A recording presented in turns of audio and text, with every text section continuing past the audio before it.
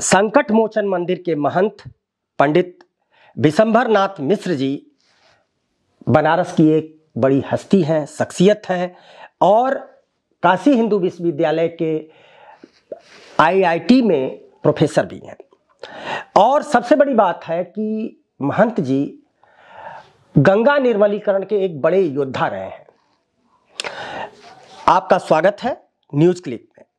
आप सामाजिक चेतना के बड़े अलंबरदार भी हैं और आपके मन में लगातार इस बात की खदबदाहट रही है कि बनारस तिल तिल कर मर रहा है, रेंग रहा है, बनारस की मस्ती और हस्ती मिट रही है।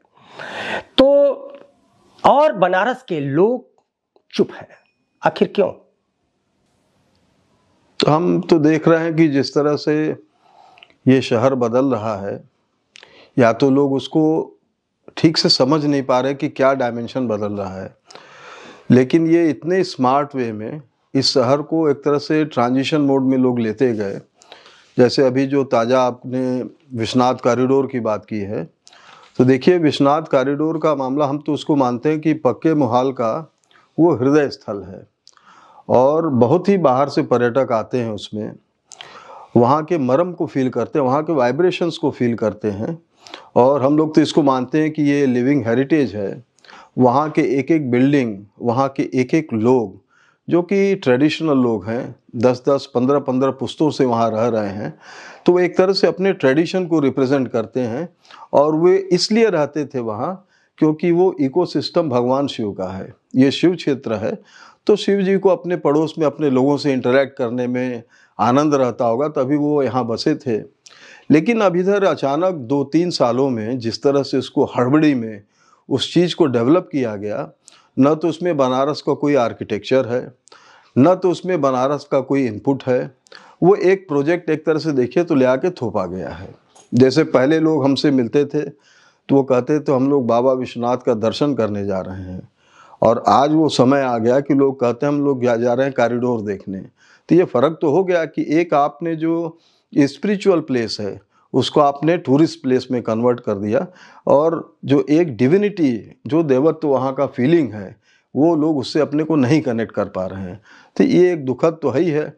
लेकिन वो चूँकि एक सेंटर प्लेस रहा है और बाहर से बहुत लोग आते थे जो उसको वहाँ के एम्बियंस को फील करने, उसके वाइब्रेशंस को फील करने, उस गलियों में घूमते थे छोटी छोटी दुकानें थी।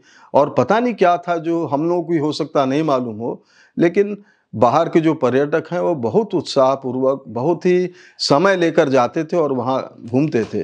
तो वो स्पेस एक तरह से वो तो एकदम चेंज हो गया। और ये तो एक बात रही।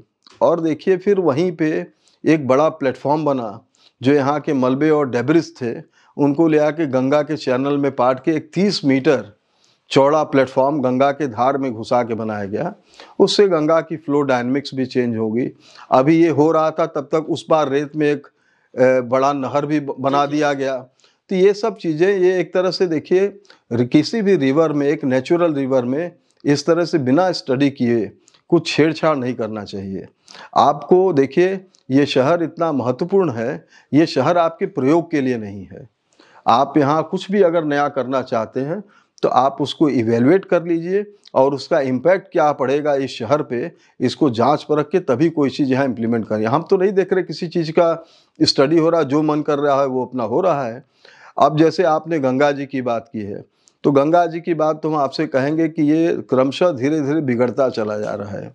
और अभी जनवरी का हमारे पास डेटा है, जहाँ अस्सी नदी आके गंगा में मिलती हैं। जहाँ सबसे बड़ा डिस्चार्ज पॉइंट है बनारस का, और ये डिस्चार्ज पॉइंट सब वेस्ट बैंक पे ही हैं।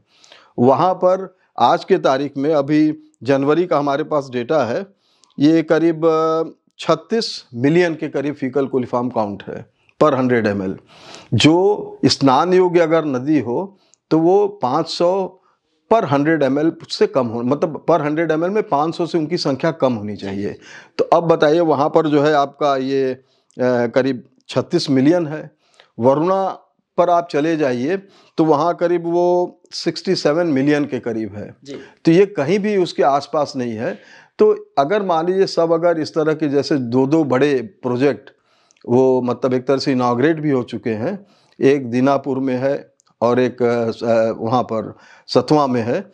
तो 140 और 120 एम का। तो अगर ये कारगर होते तो आज गंगा जी की ये स्थिति नहीं होती। और गंगा जी के लिए जो सिंसियरिटी के साथ जो काम होना चाहिए था तो आपको जैसे लोग आते हैं, कहते हैं, गंगा जी पहले से अच्छी दिख रही हैं। आपके दिखने से बात नहीं है। आपका ये वाटर पैरामीटर चेंज होना चाहिए। वो तो हम चेंज होते नहीं देख रहे हैं। अब आप इंफ्रास्ट्रक्चर करोड़ों का आप बनाइए, उससे बहुत कुछ फ़र्क नहीं पड़ता है। लेकिन अभी मोदी जी ने घोषणा किया, वो घोषणा किया, दिव्य काशी, भव्य काशी, चलो काशी और उनके इस आह्वान पर बड़ी संख्या में लोग आ रहे हैं। आपको लगता नहीं कि ये भक्ति भाव देखिए, एक चीज़ हम बताएँ आपको, ये किसी के भक्ति भाव जगाने से काशी में भक्ति भाव नहीं आता है। ये स्पिरिचुअल स्पेस रहा है, आज से नहीं, आदिकाल से रहा है। और किसी के आवाहन पर अगर मान लीजिए, आप भगवती गंगा का ही एग्ज़ाम्पल लीजिए, अगर वो रुग्ण अवस्था में है और आप बढ़िया बढ़िया उनको सजा कर अगर कुछ कपड़े पहना दीजिए तो अट्रैक्शन तो लगेगा ज़रूर, लेकिन आदमी जो बीमार है, उसको तो आप ठीक करिए। अब जैसे आपका कोई मित्र किसी को परेशानी है तो आप उसको ले आके डॉक्टर को दिखाइए, उसको जो मेडिकेशन की ज़रूरत हो मेडिकेशन करिए। और कहिए, नहीं नहीं, हम इसको अच्छा कपड़ा पहना देंगे और चमक दमक थोड़ा दिखा देंगे, उससे उसका सेहत नहीं ठीक होगा। तो जो आज उपाय है कि जो रॉ सीवेज गंगा जी में जा रहा है। वो सबसे बड़ा कारण है आज गंगा के इस कागार पर ले आके खड़ा करने वाला। गंगा में तो कोई दोष है ही नहीं है। गंगा तो आज भी वैसे ही प्रवाहमान है। अगर ये सीवेज का उत्सर्जन सीवेज का जो प्रवाह है आज आप 100 परसेंट बंद कर दिए गंगा जी अपने पुराने सेहत में रहेंगी। लेकिन ये मोदी जी बनारस को स्मार्ट बना रहे हैं और अब आप देखिए आप एक हज़ार तरह की बात करिए। सारा लिटमस टेस्ट तो ये है कि गंगा जी साफ़ होंगी कि नहीं। हम लोग तो इससे मामले को देखते हैं। आप बनारस को चमका रहे और गंगा अगर अस्वस्थ होंगी हम तो कोई विकास उसको नहीं मानते हैं। मान महंत जी थोड़ा सा पॉलिटिकल सवाल है कि आ, हवा का रुख बदलने के लिए मोदी जी बनारस आ रहे हैं। और यहाँ पाँच दिन रहेंगे। और यहाँ के लोगों को लगता है कि मोदी जी आएँगे तो सियासी रुख बदल जाएगा। क्या नज़रिया? देखिए हम पॉलिटिकल आदमी तो है नहीं अब पॉलिटिकल सवाल आपको हमसे करना भी नहीं चाहिए। लेकिन अब जब आप पूछ रहे हैं तो देखिए राजा की ऐसी धमक होनी चाहिए कि अच्छा काम हुआ होता तो उनको आना नहीं पड़ता। और प्रधानमंत्री का बहुत बड़ा स्टेचर होता है। अगर अच्छा आपका यहाँ पर काम रहता तो वो एकदम दिखता आपको विजिबल होता। तो ये कहीं ना कहीं से हमको लग रहा है कि लोगों ने उस तरह से काम किया नहीं है तो उसको ओवर शेडो करने के लिए वो एक नया एक तरह से वो किया जा रहा है कि उसको सैनिटाइज करके आप किसी तरह ये सीट अपना निकाल के ले जाइए। तो सीट तो निकल जाएगा, चला भी जाएगा, लेकिन मामला ये है कि उन मुद्दों का क्या होगा जो आज बनारस में इतने बड़े बड़े मुद्दे और आपका जैसे एजुकेशन है, आपका जॉब है हेल्थ है, ये कई महँगाई है ये सब क्या मुद्दे, क्या गौड़ हो जाएँगे? उनके घूमने से क्या होगा भाई? घूम जाएँगे तो ऐसा थोड़ी ना, वो अब बनारस के लोग इतने बुद्धू भी नहीं हैं, वो भी अपने इंटरेस्ट को समझते हैं। तो हम समझते हैं कि इन मुद्दों को आधार बना के लोगों को, देखिए, फ़ील्ड में तो बहुत से कैंडिडेट्स हैं, जो अच्छे कैंडिडेट हों, उनको लगे कि हमारे इन प्रॉब्लम को वो हल कर सकते हैं तो ऐसे लोगों को चुनना चाहिए। और ऐसे कोई ब्रांड पे दौड़ना, हमारे ख्याल से ऐसी अंधा दौड़ में शामिल होने से आप खुद गर्त में जा रहे हैं और ये शहर जो है समारोह पूर्वक हम तो कहेंगे धीरे धीरे ये ग्रेजुअली मरते जा रहा है और अगर आप नहीं चेतेंगे तो आगे क्या होगा तो ईश्वर जानते हैं। ये बनारसियत जो बनारस की अपनी जो एक कह लीजिए रम्यता है वो गायब हो रही है। आखिर क्यों? इसके पीछे क्या है? नहीं ये लोगों के उदासीन होने की वजह से है। अगर आप चैतन्य नहीं रहेंगे तो ये होगा।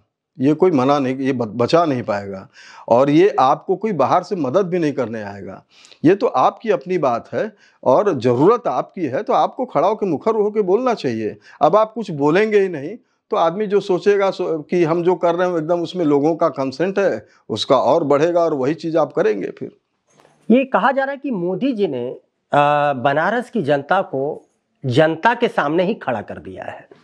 और जनता परेशान है महँगाई से, बेरोजगारी से, लेकिन उसमें एक बड़ा तबका भी है जो मोदी का बहुत गुणगान भी करता है। नहीं, गुणगान करता है तो उनके में कुछ क्वालिटी दिखता है। हम लोग उतने विजनरी नहीं होंगे, या तो हम लोग उस डायमेंशन को नहीं देख पा रहे होंगे। तो ये तो एक तो व्यक्तिगत तौर पे आदमी को अपने को खुद इवेलुएट करना चाहिए, कि हमको चाहिए क्या, और हमको अपने जनप्रतिनिधियों से क्या अपेक्षा है, उस हिसाब से करिए। और देखिए, और आप किसी के पीछे दौड़ेंगे उससे कुछ होना नहीं है। आप अगर खुद अपने चैतन्य नहीं हैं तो ठीक है तो ये ज़िम्मेदारी आपकी भी है हमारी भी है। ये वैवनस्यता बढ़ती जा रही है बनारस में जबकि ये शहर गंगा जमनी तहजीब के लिए जाना जाता था। नहीं हमको तो ऐसा वैमनस्यता दिख नहीं रहा है कि बढ़ रही है। और ये शहर का फैब्रिक देखिए बड़ा यूनिक है। और ये सब केवल मार धाड़ और जितना ये सब आपस में चल रहा है रिफ्ट चल रहा है ये सब सात तारीख तक है। सात तारीख होगा बनारस फिर अपने पटरी पे आ जाएगा। जी ये बनारस आपको लगता है कि पटरी पर आ जाएगा? नहीं बनारस पटरी पे है अच्छा। आ क्या जाएगा? अब कुछ लोग नहीं समझ पा रहे हैं तो उनको समझाना चाहिए उनको बताना चाहिए कि क्या आपका नुकसान हो रहा है। अभी तो वो एकदम जैसे होता है ना कि किम कर्तव्य विमूढ़ या मेस्मराइज्ड हैं एकदम भाव विभोर हैं तो उनको समझ में नहीं आ रहा कि क्या हमारा जा रहा है। और जो जा रहा है वो आपको दिखेगा नहीं बनारसियत दिखता नहीं है बनारसियत फील करने वाली चीज़ है। जैसे यहाँ का जो ये विद्या का केंद्र रहा है तो यहाँ एकेडमिक्स बड़ा है तो और ये चमक दमक और लाइट चमकाना ये सब बनारस का ये सब विधा नहीं है। बनारस में विद्वता है बनारस में साहित्य है संगीत है कला है यही उसी का ये केंद्र रहा है। उस डायमेंशन में तो हम नहीं देख रहे बनारस इम्प्रूव हो रहा है। और जो बड़े लोग जा रहे हैं उनका कोई रिप्लेसमेंट नहीं आ रहा है। ये ज़रूर एक चिंता का विषय है और ये लोगों को भी बड़ा ध्यानपूर्वक सोचना चाहिए कि बनारस जिस चीज़ के लिए पहचान में रखता है अपना वो पहचान न जाए बनारस का। और ये राजनीति में लोग आते रहेंगे जाते रहेंगे इसका बहुत महत्व नहीं है। लेकिन बनारस का अपना जो इनबिल्ट कैरेक्टर है ये मेंटेन रहना चाहिए। इसको लेके सबको सेंसिटिव होना चाहिए। मान जी आप आ, हर साल संगीत का एक बड़ा प्रोग्राम कराते हैं संकट मोचन मंदिर में और आपके नेतृत्व में होता है। और पहली मरतबा जब आपने कई मुस्लिम गायकों को जब बुलाया तो इस शहर में बड़ा हाय तोबा मची थी। और उसके बाद लोगों को लगा कि ये ताना बना तोड़ रहे हैं महंत जी। लेकिन आप तो जोड़ने का काम देखिए, ऐसा नहीं है। और वो लोग जो विरोध कर रहे थे, वो कुछ गुमराह लोग थे। और आपको सच बताएँ तो वही विरोध करने वाले सबसे आगे बैठ के सुन भी रहे थे। तो ये भी मैं ही देखा हूँ। और मैं सबको जानता हूँ, इस शहर को मैं भी जानता हूँ ठीक से। तो ऐसे लोगों से आप क्या बात करिएगा? और संगीत का कोई चौहद्दी नहीं है। और संगीत तो बड़ा दूसरा दुनिया है। क्या बिस्मिल्ला खां की शहनाई यहाँ उसमें क्या आपको भेदभाव दिखता था? इसी शहर का है। और यही बालाजी घाट पर, गंगा तट पर वो अभ्यास करते थे। तो बिस्मिल्ला भी तो यहीं के थे। तुमको कैसे आप अलग कर दीजिएगा? ये ये शहर तुलसीदास जी का है। यहीं रहदास रहे हैं। यहीं कबीर रहे हैं। एक से एक एक से एक यही बुद्ध रहे। कौन नहीं रहा है? तो इस शहर के तो इतने डायमेंशन है। और देखिए एक चीज़ आप याद रखिएगा। काशी ढूंढे प्रयाग मुंडे और गया पिंडे। ये ढूँढने वाला जगह है ये एक्सप्लोर करने वाला जगह है। आप खोजते रहेंगे आपको हर बार कुछ नया डायमेंशन मिलेगा। तो ढूंढते रहिए काशी अनंत है इसका कोई सर पर खोज नहीं पाएगा। ये मोदी जी स, आ, ने सात साल या आठ साल लगभग गुजार दिया है बनारस में। और क्या मिला बनारस को? और क्या लगता है कि जो विकास कहाँ तक जाएगा बनारस का? एक आप अब ऐसा कुछ देखिए, हमारा तो सब विकास हम तोल लेते गंगा जी के सफ़ाई से।